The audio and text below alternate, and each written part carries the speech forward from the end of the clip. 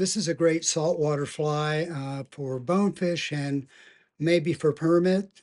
It's a cross between the wonderful flies that Jack Gartside tied using uh, raccoon and the gotcha.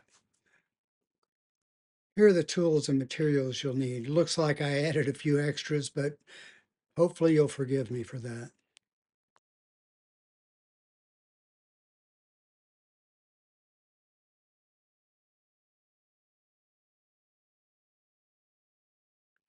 Here's the raccoony gotcha. It's a pattern I've been tying for a long time. I tie it, uh, this one happens to be a size two. I tie it down to a size 10, but the two usually don't have rubber legs, or the 10 don't have rubber legs. I want to leave room for the eye or the head of the fly in front of the bead chain, so I give it extra room. Tie it down with the crisscross and then over and under. And then a little bit more crisscross. Make sure the eye is, uh, or the bead chain is perpendicular to the hook. It's necessary to put a little bit of glue on there so the bead chain doesn't move around.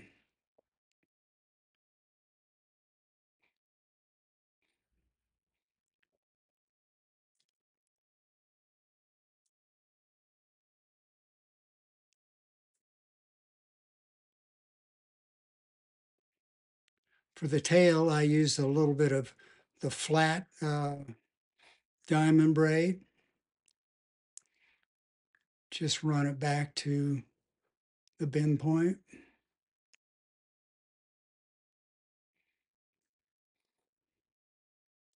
Trim it off, separate the fibers.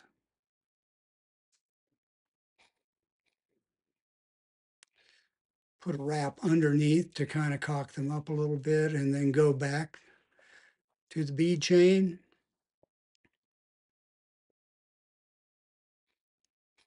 with some micro diamond braid. You can use the regular, it's just more bulky.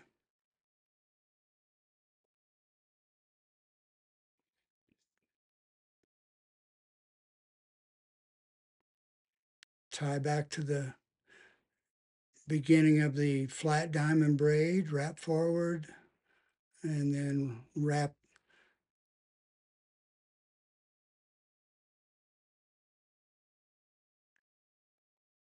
the diamond braid forward. I put a half hitch in the uh, in the thread just to make sure it didn't go anywhere.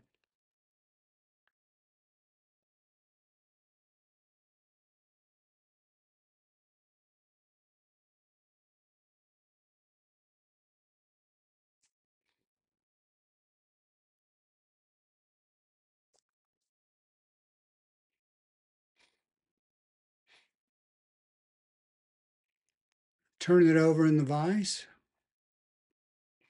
Ready to go. Trim off the diamond braid. Prepare to put in the wing and the accessories, we'll call them, crystal flash and the rubber legs. What I like to do is leave a little channel right in the middle there to cinch down the wing material. This is the raccoon. Takes some practice to cut the right amount. And it helps to have good raccoon too. You also want to uh, use a brush or a comb and comb out as much of the short hairs as you can. That way you won't have excessive bulk at the head and a thin, thin body.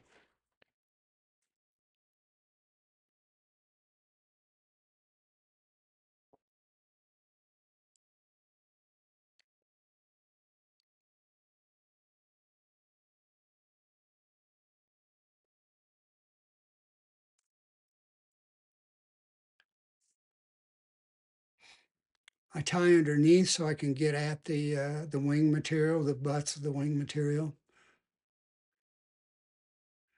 Should have actually tied un- underneath a little bit more so it would have been easier to get to.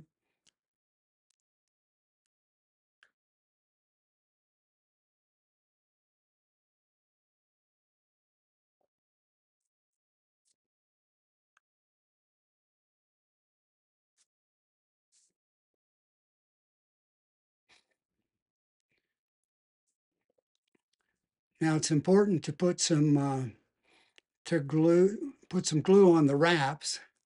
So the ones that don't get tied down as tightly don't come out. This is really thin super glue, so it should sink all the way through the wing material. Very thin stuff. I like to use it, but it can be really messy.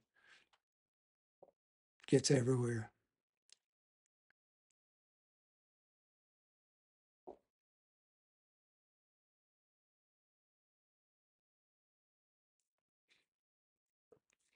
Now we're ready for the crystal flash. It's just pearlescent crystal flash.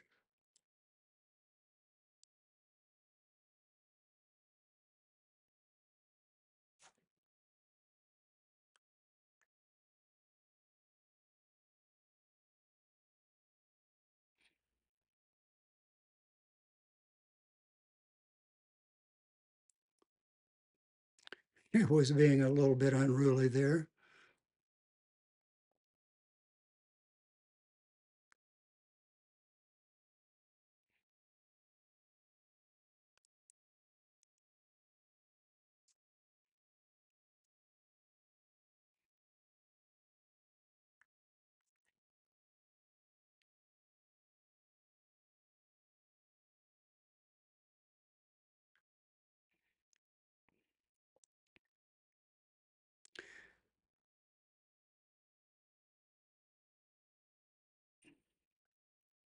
And the rubber legs.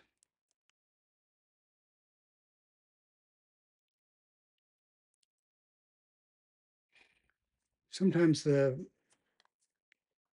the orange uh, section is not the same on both ends, which is a little bit disconcerting, but uh, not not a lot.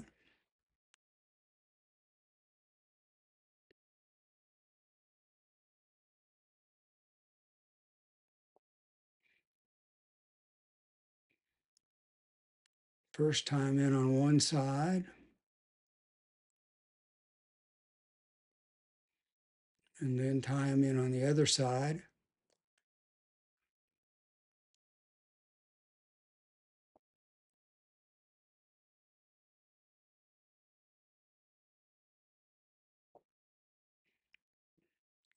Get them to where they're about even.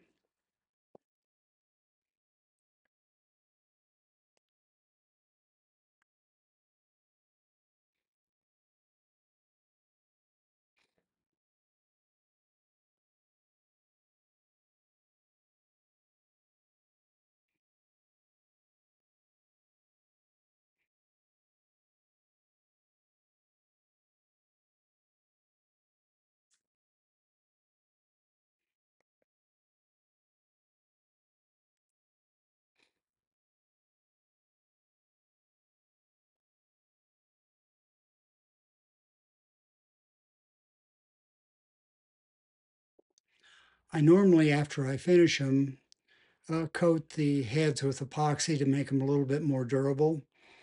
But even without, it's a fairly durable fly. And that is your Raccoon Gotcha.